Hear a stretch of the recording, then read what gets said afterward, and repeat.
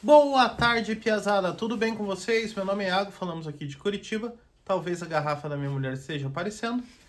E hoje nós vamos falar sobre as sete magníficas da Bolsa Americana.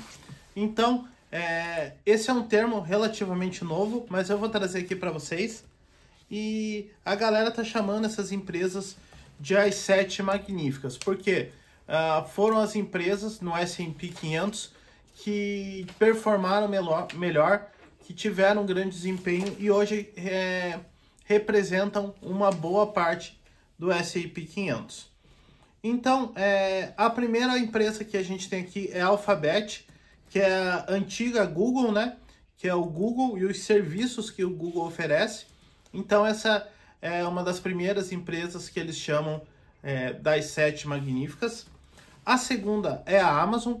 É, a Amazon, além de ser aí o maior e-commerce marketplace aí do mundo, eles também têm aquele serviço é, de AWS, que, que é esse serviço de cloud, de hospedagem e tudo mais. A galera que de TI é, conhece, manja o que, que é a AWS.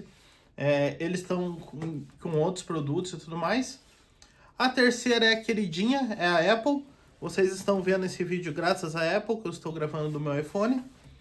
Uh, a quarta é a Meta, o antigo Facebook.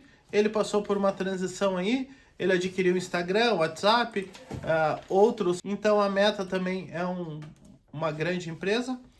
Próxima empresa é a Microsoft. Já não é uma empresa tão nova, assim como a Apple. A Microsoft aí está desde os anos 80, eu acho, é, ali na Bolsa Americana é, mas continua performando muito bem. Eu sei que teve gente que ficou muito rico com Apple e Microsoft, compraram ação de Microsoft aí quando valia centavos de dólar e hoje estão milionários.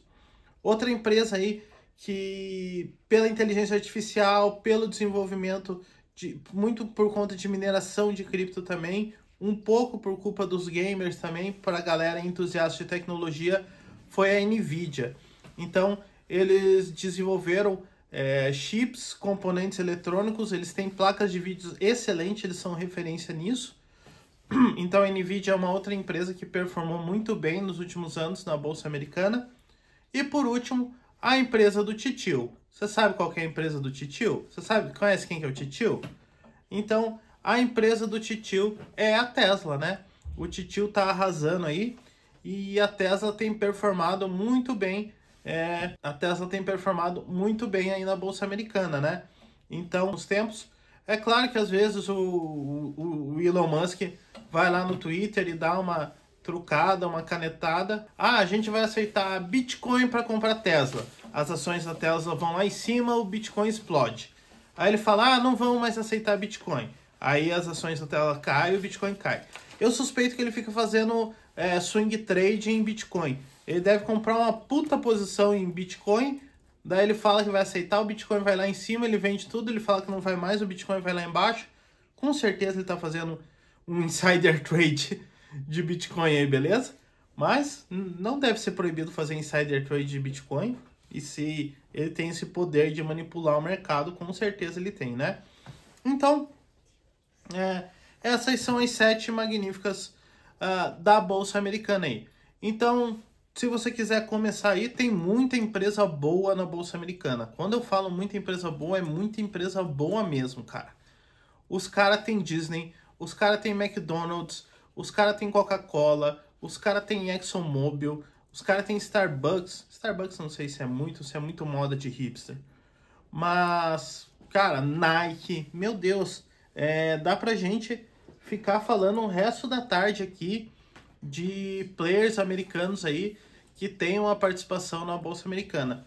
Mas se você quer começar a molhar um pezinho no exterior, eu iria nas sete magníficas com certeza. E só para a gente finalizar, vocês devem ter reparado que todas elas ah, têm um ponto têm um ponto em comum, né? A Alphabet, que era o Google, a Amazon, a Apple, a Meta, a Microsoft, a Energia a Nvidia e a Tesla. Todas elas uh, são empresas de tecnologia, todas elas são empresas uh, que fornecem o que a gente está precisando cada dia mais. É, se você vê aqui, pô, uh, não é uma Boeing que faz um avião, não é uma ExxonMobil que extrai petróleo, não é uma outra empresa que faz uma commodity que produz um produto, alguma coisa específica. São empresas de tecnologia. E com certeza investir em empresas de tecnologia é, vale a pena sim. E eu acho que eles ainda têm muito mercado para crescer. Beleza? Então, essas são as sete magníficas americanas. Se você quiser um vídeo ensinando como compra ações direto lá na Bolsa Americana, deixa um comentário aqui. Grava sobre como compra ações na Bolsa Americana eu tenho que gravar esse vídeo, mas esse vídeo tem um pequeno problema para ser produzido. Eu tenho que gravar ele num horário que a bolsa americana esteja aberta. Então é, é um pouquinho difícil para mim porque nesse horário eu estou trabalhando. Talvez um dia que seja feriado aqui e seja dia útil lá, eu consiga é, conciliar e gravar esse vídeo para vocês, beleza? Mas fica aí a minha dica. Então, no mais é isso aí. Valeu, tchau, tchau.